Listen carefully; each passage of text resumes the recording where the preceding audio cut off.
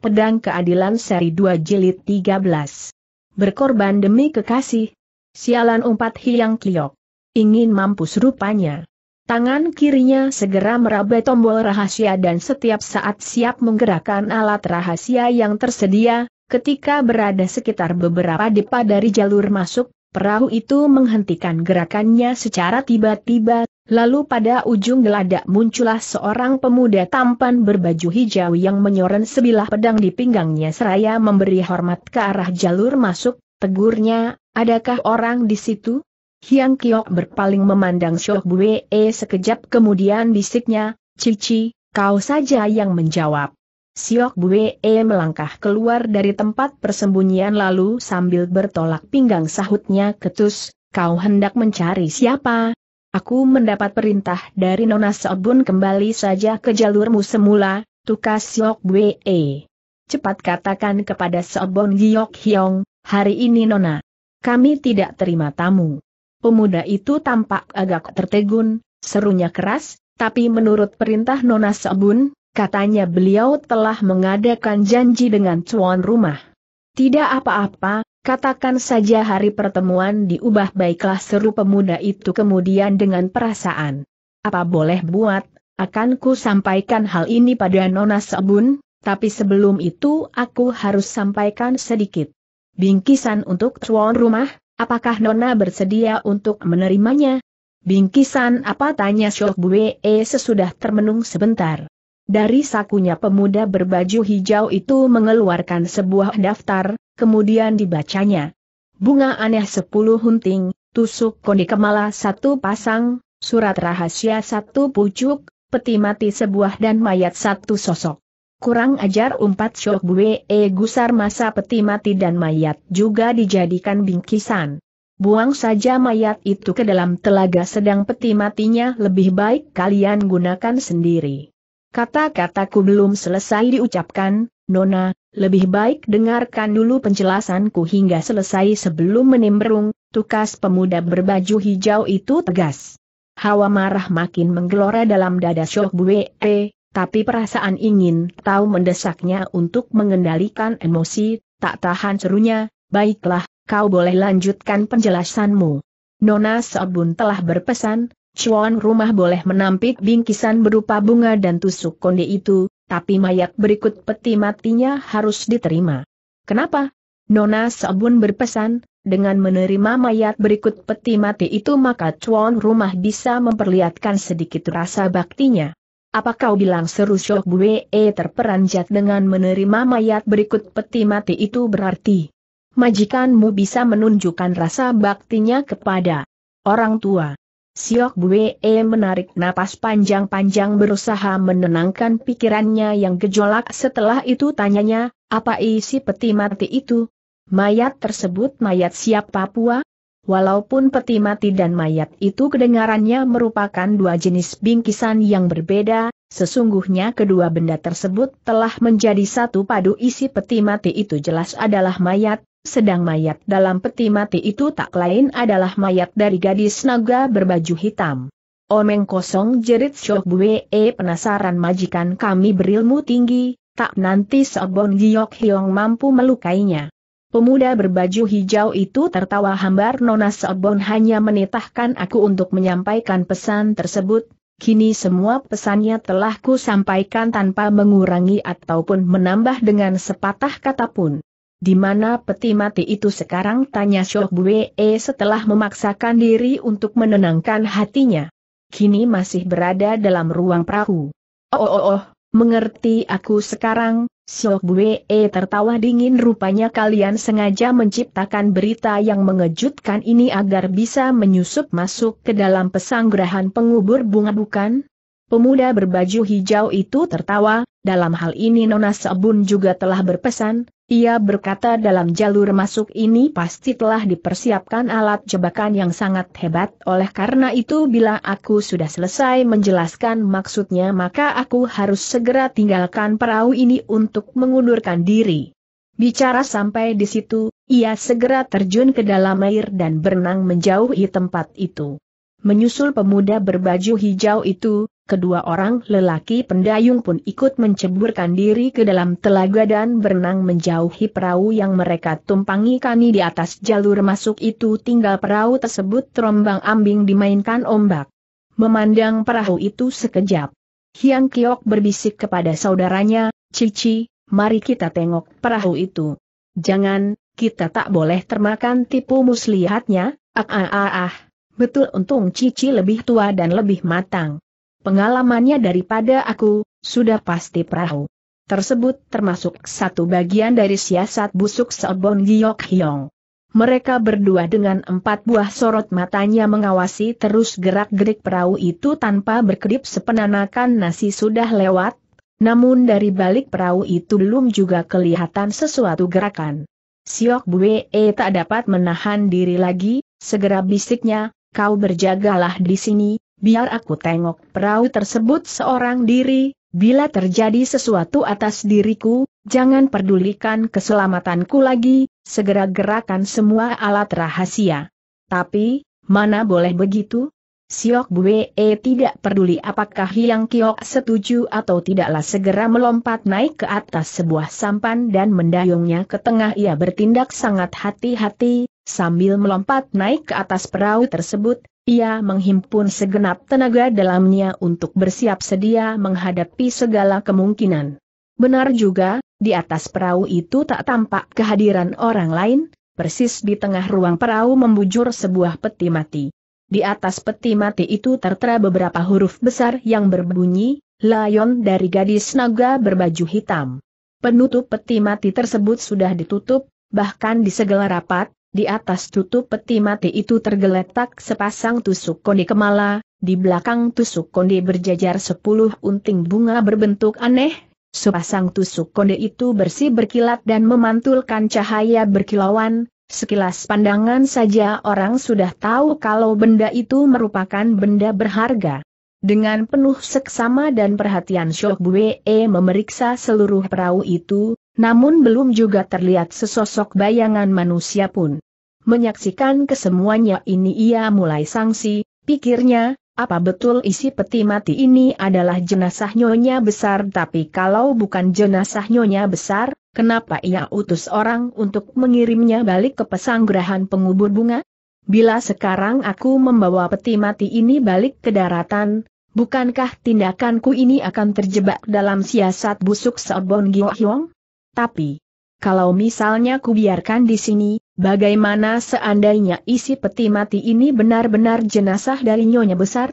Sudah cukup lama dia mengikuti Pek Si Hyang, kecerdasan maupun pengalamannya sudah cukup hebat, namun terhadap tindakan Sebon Giok Hyong ini dia tetap dibuat bingung dan tak habis mengerti. Akhirnya sambil menghela napas pikirnya, sebetulnya hanya Nona yang bisa memecahkan teka-teki ini, sayang ia sedang tertidur nyenyak. Sementara dia masih termenung, terdengar suara dari Hyang Kiok telah bergema datangi Enci Syok Bue, adakah peti mati di perahu itu? Ada. Apakah isi peti mati itu adalah jenazah nyonya besar? Di atas penutup peti mati itu memang tertulis nama besar nyonya, tapi isinya betul atau tidak masih sukar ditentukan. Kenapa tidak kau buka dan periksa isinya? Peti mati itu sudah dipaku dan disegel. Kalau begitu biar aku menyusul ke sana untuk ikut memeriksa. Siok Bue e tahu, kedatangan Hiang Kiok ke atas perahu itu sebenarnya tak berguna, dengan usianya yang masih muda, pengetahuan serta pengalamannya masih kalah jauh bila dibandingkan dengan dirinya. Sementara dia masih termenung, Hiang Kiok sudah melompat naik ke atas perahu itu serta menerobos. Masuk ke dalam ruangan, dasar gadis ini masih muda, bersifat kekanak-kanakan, polos dan berpikiran suci, begitu membaca tulisan yang tertera di atas penutup peti mati itu, sambil cucurkan air mata ia segera jatuhkan diri berlutut dan menangis meraung-raung. Dengan cepat Syok Bue menarik lengan saudaranya sambil berseru, ayo cepat bangun, sampai sekarang kita masih belum bisa pastikan apakah isi peti mati ini benar-benar jenazah nyonya besar atau bukan, siapa tahu hal ini termasuk salah satu dari siasat busuk Sebon Hyong? Sambil melompat bangun dan menyeka air mata, sahut Hyang Kiok, Betul juga perkataan Cici, percuma aku menangis terseduh-seduh bila akhirnya terbukti isi peti mati ini bukan jenazah nyonya besar melainkan tipu muslihat Sobon Giok Hyong. Dengan suatu gerakan cepat ia menyambar penutup peti mati itu dan siap membukanya secara paksa. Baru saja hawa murninya hendak dikerahkan untuk mengoyak penutup peti mati itu, dengan suatu gerakan cepat Syok Bue telah menekan tangan Hiang Kiok sambil menegur, adik Kiok, jangan bertindak gegabah. Kalau tidak kita buka penutup peti mati ini, dari mana bisa kita ketahui isinya? Lebih baik kita kirim dulu peti mati ini ke daratan pesanggrahan pengubur bunga sebelum mendongkelnya. Baiklah, Pelan-pelan Hiang Kiok menarik kembali tangannya, pengetahuan serta pengalaman Cici jauh. Melebihi diriku, pendapatmu ini tentu lebih pas dan tepat. Kedua orang itu pun lalu bekerja keras mendayung perahu tersebut menuju ke daratan, kemudian dengan susah payah menaikkan peti mati tadi ke daratan sebelum mendorong kembali perahu tadi keluar dari perairan sana. Lim Hon Kim memandang peti mati itu sekejap ia seperti hendak mengucapkan sesuatu tapi niat itu dibatalkannya kemudian. Gerakan alat rahasia, bisik Chok Bue kepada Hiang Kliok. Dengan begitu seandainya Sobon Giok Hyong mengetahui tempat pendaratan ke pesanggrahan pengubur bunga pun, ia tak mampu merapatkan perahunya kemari. Tanpa banyak bicara Hiang Kiok mendorong sebuah batu besar di belakang sana, Diiringi suara gemerincing nyaring permukaan air telaga tampak sedikit beriak tapi dengan cepat segala sesuatunya pulih kembali dalam keheningan. Melihat tiada suatu gejala aneh yang tampak pada permukaan jalur air, dengan perasaan keheranan Lim Hon Kim menegur, apakah alat rahasianya sudah digerakkan? Alat rahasia itu khusus dirancang di dasar telaga yang berhimpitan dengan dua dinding tebing, karena itu meski sudah digerakkan namun tak nampak dari permukaan air, tapi jika ada orang atau perahu yang berani melewati jalur air tersebut, mereka pasti akan menyentuh alat. Rahasia yang berakibat perahu itu tenggelam atau orang tersebut tewas. Oh oh oh, rupanya begitu. Sambil menekan permukaan peti mati pemuda itu melanjutkan seandainya ada orang berbaring dalam peti mati ini, bukankah dengan mudah orang tersebut dapat ikut menyusup masuk kemari? Diam-diam ia mengerahkan tenaga dalamnya lalu disalurkan ke balik peti mati itu. Sesungguhnya budak pun telah berpikir sampai ke situ, jawab Syok Bue E pelan, tapi aku pun khawatir seandainya isi peti mati itu betul-betul adalah jenazah nyonya besar, bila dibiarkan terapung di telaga hingga tenggelam ke dasar air, bukankah aku harus menanggung rasa sesal sepanjang hayat? Tergerak juga perasaan Lim Hon Kim setelah usahanya menghantam isi peti mati tersebut dengan tenaga dalam ternyata tidak memberikan hasil apa pun, pikirnya, Sobon Giok Hyong licik, keji dan banyak akal muslihatnya. Kini ia sudah menganggap Pek Si Hyang sebagai musuh tangguhnya, berarti ia tentu berupaya untuk menyingkirkan musuhnya ini secepat mungkin tapi dia pun keder oleh kehebatan Peksi yang sehingga tak berani turun tangan sembarangan siapa tahu ia betul-betul pergi mencari gadis naga berbaju hitam dan membunuhnya titik. Berpikir sampai di situ, tanpa terasa muncul perasaan bergidik dalam hati kecilnya, misalnya Sobon Giok Hyong betul-betul mencari ibu Peksi yang untuk melampiaskan rasa dendamnya, apa sulitnya bagi perempuan iblis itu untuk mengunjungi lembah Hang Yap Kok dipakga untuk menyatroni ibu kandungnya? Melihat anak muda itu hanya berdiri termangu tanpa menjawab sambil memegangi penutup peti mati itu, tak tahan Hiang Kiok menegur, Hei, kenapa kau termangu-mangu? Masa gabungan tenaga kita bertiga masih khawatir tak mampu mengalahkan dia seorang? Pelan-pelan Lim Hon Kim menarik kembali tangannya dari atas peti mati, ucapnya, Sobon Giok Hyong licik, banyak akal serta memiliki ilmu silat yang maha dahsyat aku rasa tenaga gabungan kita bertiga masih bukan tandingannya, lebih baik Nona berdua bersiap lebih hati-hati. Apa yang perlu dikhawatirkan Hyang Kiok membuka matanya lebar iebar. sebelum membuka peti mati ini kami sudah membuat persiapan yang matang, asal kami tahu kalau isi peti mati bukan nyonya besar, maka kami akan turun tangan berat-berat tanpa memberi kesempatan kepadanya untuk melawan. Ia percaya kata-katanya tersebut amat cerdik dan jitu hingga sengaja diutarakan dengan nada tinggi, tampaknya ia bermaksud agar orang yang berada dalam peti mati itu ikut mendengar. Meskipun usia Shok Bue dan Hiang Kiok hanya selisih sedikit, namun watak serta perangai mereka berbeda jauh, kalau Shok Bue tenang dan penuh perhitungan maka Hiang Kiok polos dan bersifat kekanak-kanakan, Lim Hon Kim tidak tahu akal apa yang sedang dipersiapkan gadis itu hingga sengaja bicara keras. Karenanya dia pun tidak banyak bertanya dan membungkam diri. Dengan susah payah kedua orang dayang itu menggotong peti mati tersebut ke depan hutan bambu, lalu meletakkannya di tengah sebuah tanah lapang, dari punggungnya Hiang Kiok meloloskan pedangnya lalu disodorkan ke hadapan Lim Hon Kim sambil serunya, bawalah senjata ini. Lim Hon Kim menerima pemberian senjata itu. Belum sempat ia menanyakan sesuatu, Hyang Kiok sudah berlari masuk ke dalam rumah. Tak selang beberapa saat kemudian ia sudah muncul kembali sambil membawa sebuah martil besi, katanya, Enci Syok Bue, kau dan Lim Siang Kong berjaga-jagalah di tepi peti mati dengan pedang terhunus, sedang aku akan berusaha membuka penutup peti mati ini jika isinya bukan nyonya besar, kalian harus segera mencincang orang itu sampai mati. Dia menganggap care ini amat jitu dan sempurna, maka tanpa meminta persetujuan dari Lim Hon Kim serta Shok Bue, ia segera menggerakkan martilnya untuk menghancurkan penutup peti mati itu.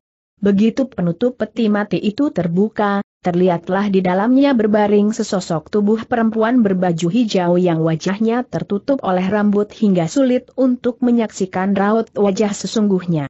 Baru saja Hiang Kiok menjulurkan tangannya hendak menyingkap rambut yang menutupi wajah perempuan berbaju hijau itu, mendadak terdengar Syok Bue membentak keras, adik Hiang, jangan. Kenapa tanya Hiang Kiok terkesiap sambil menarik kembali tangan kanannya. Apabila orang itu bukan nyonya besar tapi musuh kita, maka bila tanganmu menyusup ke dalam secara ceroboh, jalan darahmu pasti akan dicengkeram lawan, bayangkan bila sampai begitu, bukankah kami berdua tak mampu turun tangan? Betul juga ucapan Cici. Siok Bue e segera mengerahkan tenaga dalamnya yang disalurkan ke ujung pedang lalu dengan menggunakan ujung pedang yang tajam ia singkap rambut yang menutupi wajah perempuan berbaju hijau itu.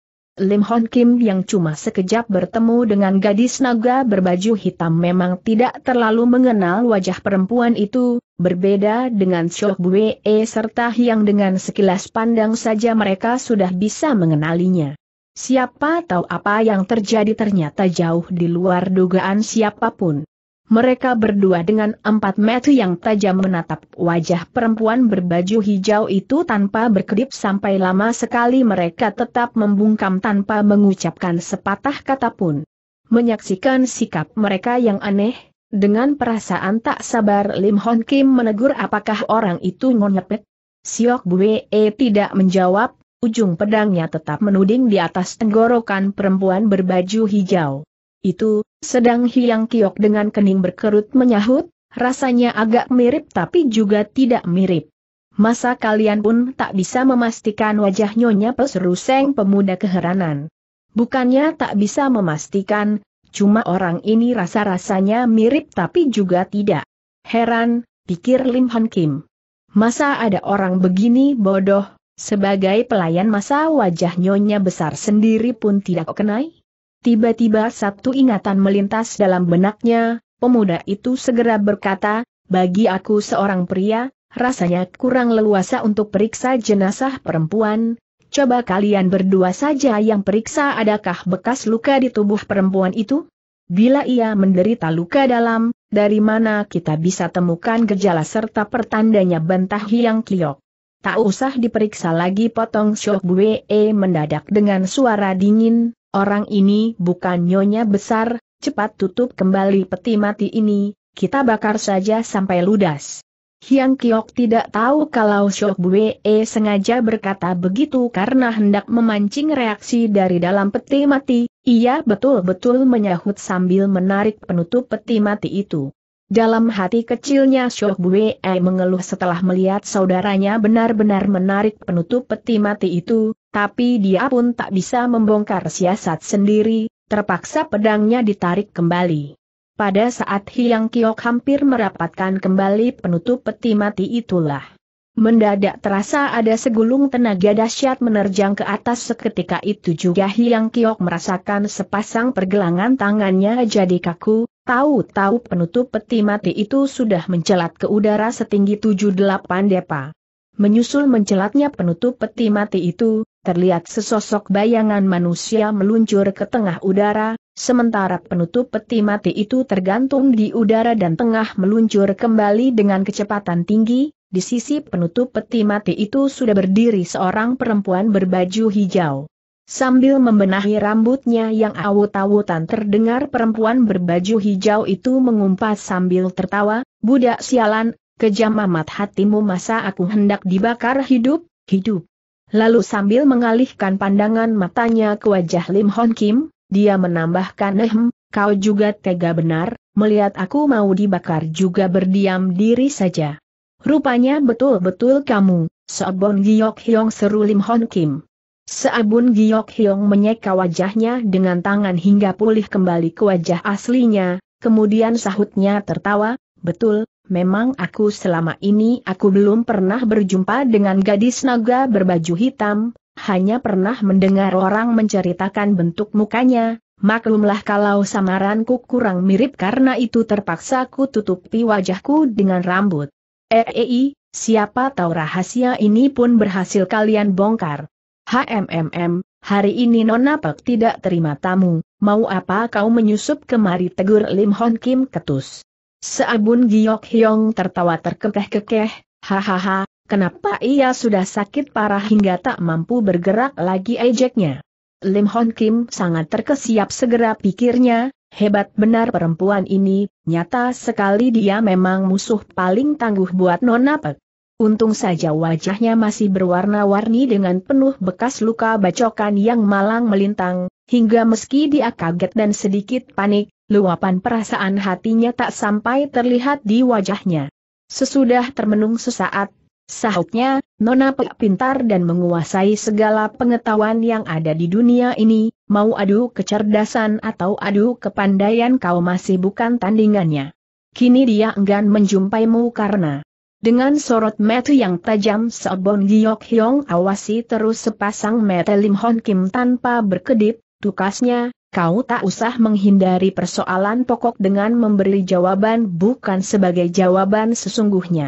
Katakan kepadaku, apa betul penyakit yang diderita Pek Sihi yang sudah begitu parah hingga tak mampu bergerak? Atau mungkin ia sudah mampus? Kurang ajar umpat Hiang Kiok gusar, nona kami masih segar bugar, kenapa kau menyumpahinya agar cepat mampus? Seabun Giok Hyong tersenyum, oh oh oh, kalau begitu penyakitnya tentu sangat parah. Siok Bue maupun Hiang Kiok cukup tahu bahwa kondisi penyakit yang diderita nonanya akhir-akhir ini bertambah hari bertambah buruk, terlebih lagi Lim Hon Kim, ia tahu dengan pasti kondisi Pek Si Hiang yang setiap saat dapat menghembuskan napas penghabisan oleh karena itu pertanyaan langsung yang diajukan Sebon Giok Hyong ini membuat mereka bertiga tak mampu memberikan jawabannya. Seabun Giok Hyong menengadah memandang Fajar yang baru menyingsing di ufuk timur lalu tertawa, katanya lagi, kalian tak usah beriagak pilon di hadapanku, padahal tanpa bertanya kepada kalian pun aku sudah mengetahui dengan amat jelas, Pek Sih yang tak nanti bisa hidup melewati hari ini.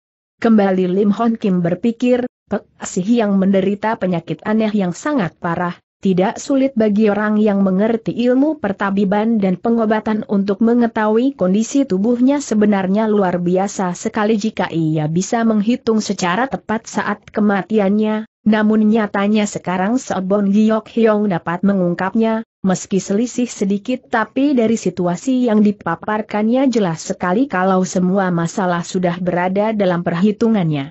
Aneh betul, manusia dengan kemampuan sehebat ini kenapa justru tak berani berhadapan secara langsung dengan Pek Si Hyang? Padahal kalau dia mau, dalam sekali pukulan saja ia dapat mengirim Pek Si Hyang berpulang ke alam baka. Sementara dia masih termenung, sambil tertawa hambar Seobon Giok Hyong telah berkata lagi, biarpun kamu bertiga turun tangan bersama pun masih bukan tandinganku. Aku percaya kalian tentu menyadari akan hal ini, lantas kenapa tidak kalian simpan senjata yang terhunus itu? Atau mungkin betul-betul ingin bertarung melawanku? Tahu kalau kau yang ada di dalam peti mati, semestinya ku ceburkan kalian ke dasar telaga sumpah yang kiok gemas. Hanya sayang seribu kali sayang, menyesal sekarang pun tak ada gunanya sambung Sobon Giok Hyong sambil tertawa. Lim Hon Kim cukup sadar akan kekuatan yang mereka miliki, maka ia membuang senjatanya paling dulu, katanya, apa yang dia katakan memang betul, biar kita bertiga turun tangan bersama pun masih tetap bukan tandingannya, aku rasa nona berdua tak perlu berkeras kepala lagi. Pelan-pelan Syok Bue membuang pedangnya ke tanah, kemudian katanya, Sebetulnya apa maksudmu berlagak macam orang mati untuk menyusup masuk ke pesanggerahan pengubur bunga ini? Nanti saja kita baru bicara, sekarang ajak dulu aku menjumpai Nona Pek, tukas Sabon Giok Hyong tersenyum.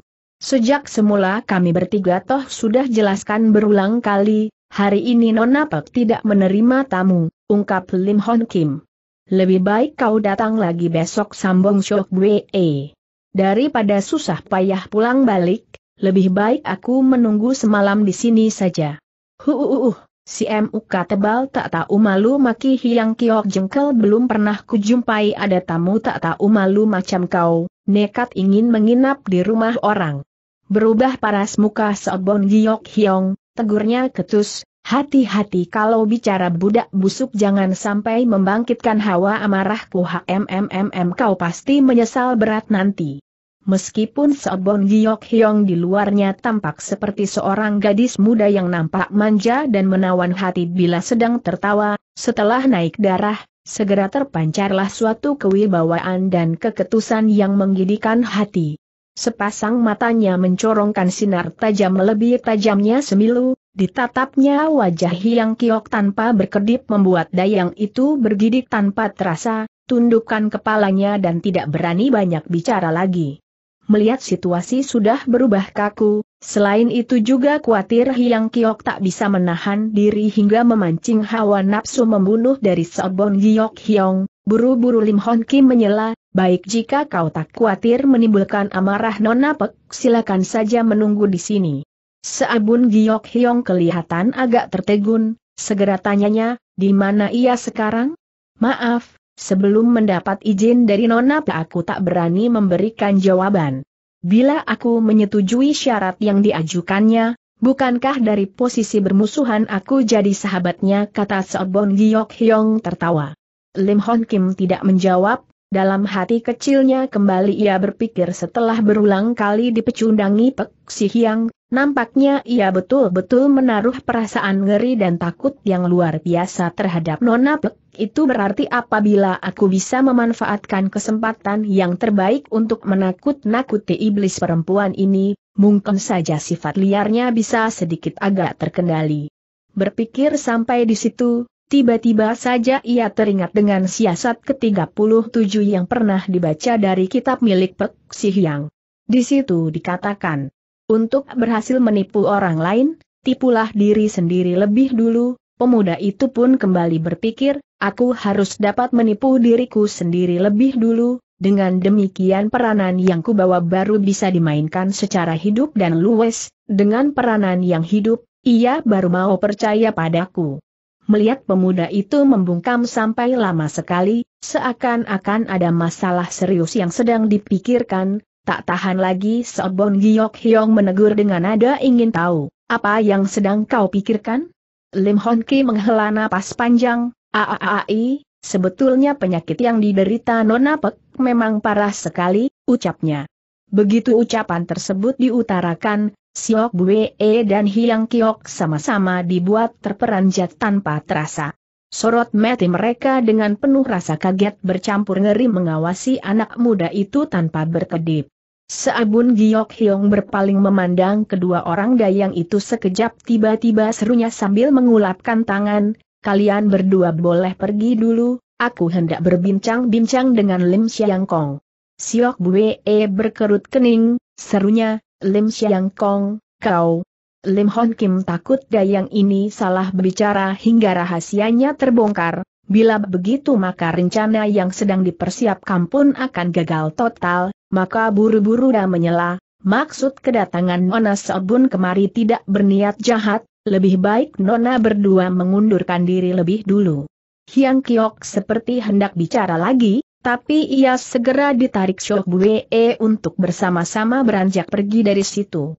Menunggu sampai kedua orang dayang itu pergi jauh, Lim Hon Kim baru menghela napas panjang dan berkata lebih jauh, menurut penuturan Nona Pek kepadaku, dia mesti beristirahat selama tiga hari penuh sebelum dapat lolos dari cengkeraman lemaut, AAAI. Tapi kalau menurut hasil analisaku pribadi, kelihatannya kecil sekali harapan baginya untuk hidup terus. Beberapa patah kata yang terdahulu jelas merupakan bagian dari rencana yang sedang diaturnya, sedangkan kata-kata yang terakhir merupakan kenyataan sesungguhnya, hingga tanpa terasa matanya jadi pedas, titik air mata pun jatuh bercucuran. Seabun Giok Hyong hanya membungkam diri tanpa mengomentari sepatah kata pun, hanya sepasang matanya yang jeli mengawasi wajah Lim Hon Kim tiada hentinya sampai lama kemudian pelan-pelan ia baru berkata, bagaimana perubahan mimik wajahnya ketika mengucapkan perkataan tersebut kepadamu. Orang ini memang luar biasa pintarnya, batin Lim Hon Kim cepat. Sekalipun pertanyaan yang diajukannya amat sederhana, padahal mengandung arti yang amat mendalam, apa yang harus kujawab? Sementara pemuda itu masih berpikir, Seabun Giok Hyong telah berkata lebih jauh, beritahu kepadaku sejujurnya, maka aku pun dapat memberitahukan kepadamu masih adakah harapan untuk menyelamatkan dia dari cengkeraman lemaut. Lim Hon Kim khawatir bila ia menunda-nunda waktu lagi, tindakan tersebut justru akan memancing kecurigaan Seobon Giok Hyong, dengan terpaksa ia pun menjawab, ia mengucapkan dengan nada rendah, wajahnya kelihatan sedih sekali. Coba pikirkan lagi dengan cermat, apakah begitu saja mimik mukanya desak Seobon Giok Hyong dengan kening berkerut. Lim Hon Kim tidak tahu apakah ucapannya tepat atau tidak, tapi berhubung sudah terlanjur diucapkan dan mustahil ditarik kembali, Terpaksa sambil keraskan kepala katanya cepat, aku masih ingat semua mimik mukanya secara jelas, hanya itu saja yang kulihat. Tiba-tiba Sobon Giok Hyong menundukkan kepalanya sambil membungkam diri, sampai lama kemudian ia baru mengangkat kepalanya lagi seraya berkata, dia masih ada separuh harapan untuk tetap hidup. Syukur, pekik Lim Hon Kim di dalam hati. Tak nyana dugaanku secara ngawur ternyata tepat sekali. Dia pun menyela, padahal Nona Pek sudah menduga akan kedatanganmu pagi ini.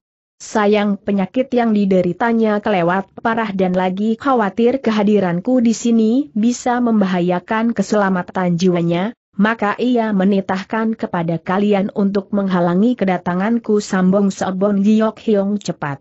Nona Pek tak punya maksud menghalangi kedatanganmu. Lalu maksud siapa, masa ide kedua orang dayang itu? Juga bukan sebetulnya akulah yang mengusulkan ide tersebut. Kalau begitu aneh sekali, Sobon Giok Hyong tertawa cekikikan kenapa kau halangi kedatanganku ke pesanggerahan pengubur bunga ini? Sederhana sekali alasanku, kini Nona Pek sedang sakit, padahal kami bertiga bukan tandinganmu membiarkan kau hadir di pesanggerahan pengubur bunga ini bukankah sama artinya dengan mengundang serigala masuk ke dalam kamar. HMMM, meski perumpamaanmu tepat, tapi tak sedap betul didengar tegur Sobon Giok Hyong dengan kening berkerut. Aku tak pandai memilih kata-kata indah, aku hanya tahu bicara apa sebenarnya. Mungkin Peksihi yang terlalu parah sakitnya hingga kesadarannya menghilang, Masa dia lupa dengan perjanjian hari ini? Soal itu belum sempat ku dengar darinya. Pelan-pelan Seobon Kok Hyong mendongakkan kepalanya memandang cuaca sekejap kemudian katanya, tapi hal ini tak bisa salahkan dia, memang kedatanganku terlalu awal sedikit. Apa yang ingin kukatakan kini sudah selesai diucapkan, apa rencanamu selanjutnya? Sekarang Pek Sihi yang ada di mana tanya Seobon Giok Long sambil memandang bangunan loteng itu sekejap. Sedang merawat penyakitnya di dalam ruang rahasia. Aku berjanji tak akan mencelakai jiwanya, apakah kau bersedia mempercayaiku? Tidak. Mula-mula Seobon Giok Hyong agak tertegun menyusul kemudian sahutnya sambil tertawa hambar seandainya aku bersikeras hendak menjumpainya. Meskipun aku bersama Shok Bue dan Hyang Kiok mengerti bahwa kekuatan kami bukan tandinganmu tapi kami sudah siap untuk menghalangimu dengan sekuat tenaga. Berkilat sepasang mata Sebon Giok Hyong, ia mendengus dingin, haha mmm kau anggap aku betul-betul tak berani membunuh kalian? Lim Hon Kim tertawa hambar. Bila Pek Si Hyang dapat meloloskan diri dari cengkeraman maut, ia pasti akan balaskan dendam kami. Tiba-tiba Sebon Giok Hyong menggerakkan tangan kanannya, dengan kecepatan bagaikan sambaran petir ia cengkeram urat nadi pada pergelangan tangan kanan Lim Hon Kim.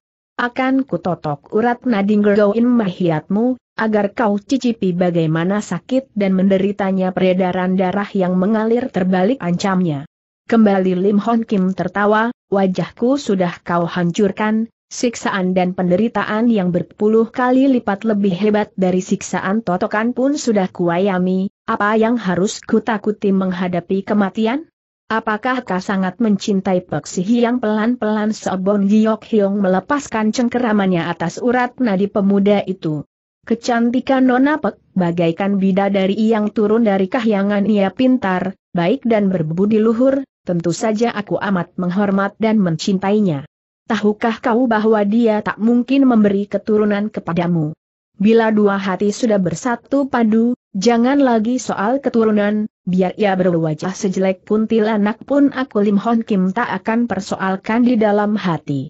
Wah, kalau begitu kau betul-betul menaruh rasa cinta yang mendalam terhadapnya kata Seobon Giok Hyong sambil tertawa. Lim Hon Kim tidak langsung menjawab, pikirnya, kecerdikan perempuan ini luar biasa.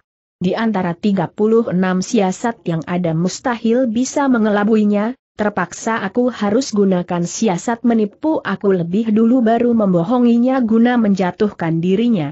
Berpikir demikian, dia pun berkata sambil menghela napas panjang, hanya sayang sekali penyakit yang diderita Nona Pek amat parah, sedang kemampuanku juga tak mungkin bisa menolongnya.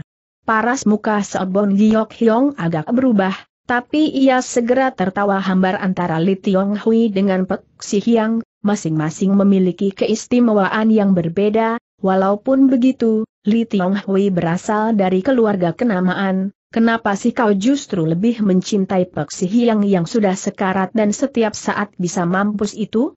Cinta itu memang buta, meski tahu pahit pun tetap manis rasanya di dalam hati. Tidak kusangka seorang pemuda yang begitu romantis setelah berhenti sejenak kembali terusnya, bila kau percaya dengan janjiku, Mari kita rundingkan satu persoalan penting. Soal apa? Asal kau bersedia memberitahu kepadaku di mana Pek Sih yang berada sekarang, aku berjanji akan jodohkan kau dengan Li Tiong Hui, bahkan aku pun tak segan-segan menggunakan obat mestika simpananku untuk memulihkan kembali wajahmu seperti sedia kala. Ternyata ia memang datang dengan membawa rencana busuk, pikir Lim Hon Kim cepat, Tampaknya sehari ia belum berhasil membunuh Pek Si Hyang, sedetik pula dia tak akan melepaskan diri. Berpikir begitu, ia pun balik bertanya dengan nada dingin, bagaimana kalau aku tak setuju? Sekalipun kau tak takut mati, toh masih ada kedua orang dayang itu, aku tak percaya mereka terdiri dari otot kawat balung besi. Lim Hon Kim tertawa hambar. Kesetiaan mereka terhadap majikannya melebihi apa pun, Aku yakin keteguhan hati mereka masih jauh di atas diriku. HMMM, kau kira tanpa mengatakan tempat persembunyiannya maka aku tak bisa mencarinya sendiri dengan langkah lebar ia berjalan menuju ke bangunan loteng itu. Lim Hon Kim tahu percuma saja berusaha menghalangi niatnya, karena itu dia hanya mengikuti di belakang gadis itu.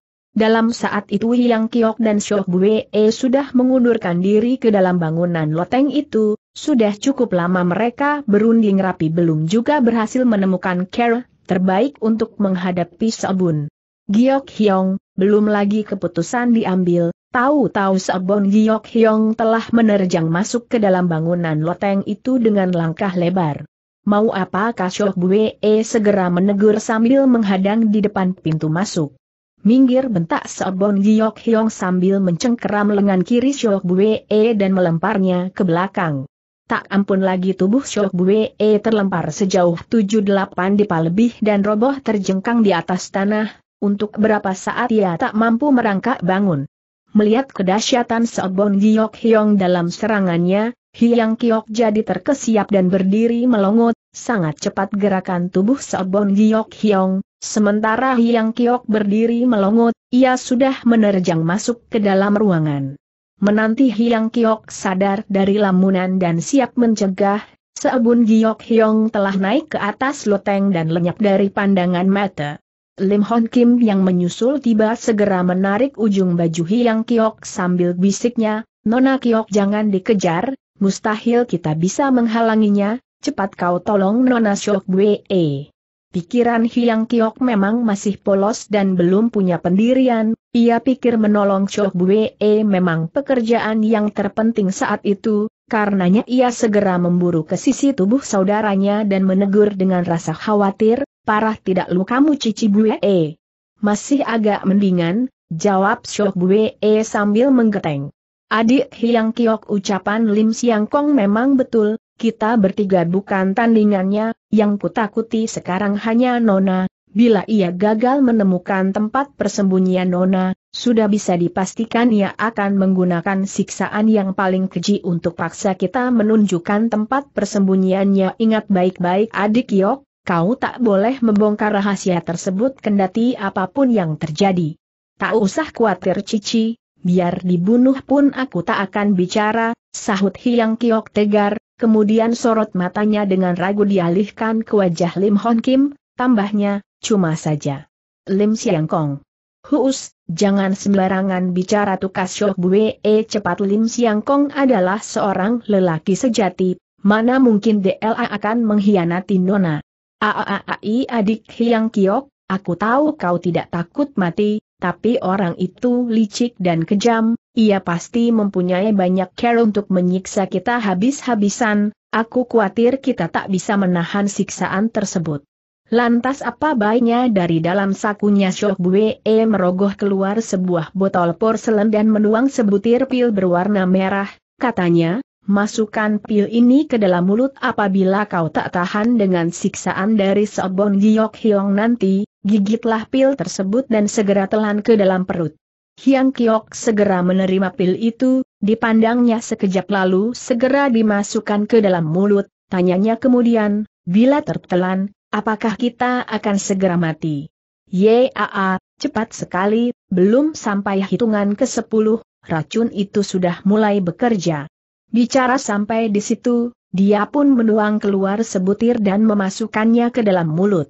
Bagaimana kalau berikan sebutir juga untukku pinta Lim Hon Kim tiba-tiba Chok Bue tersenyum. Lim Siang Kong tak usah minum racun untuk menemani kami mati sebagai dayang, sudah menjadi kewajiban kami untuk berkorban diri, sedang Lim Siang Kong, kau tidak harus berbuat begitu. Baiklah seru Lim Hon Kim sambil tertawa. Bila kalian ingin tahu alasanku untuk minum pil racun itu, Katakanlah bahwa aku berkorban demi cinta. Siok Bue membelalakan matanya lebar-lebar, serunya tak tahan, sudahkah kau katakan hal tersebut kepada nona kami? Nona Plek amat cerdik dan luar biasa, tiada secuil lurusan di dunia ini yang bisa lolos dari dugaannya, buat apa aku mesti jelaskan secara terang-terangan? Bila Nona tahu kalau Lim Siang Kong mencintainya, semangat untuk hidupnya tentu akan meningkat. SSTT.